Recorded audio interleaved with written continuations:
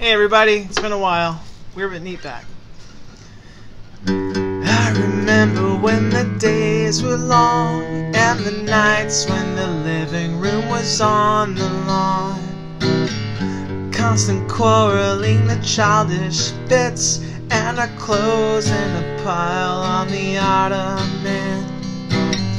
All the slander and double speak foolish attempts to show you did not mean anything but the blatant proof was your lips touching mine in the photo booth.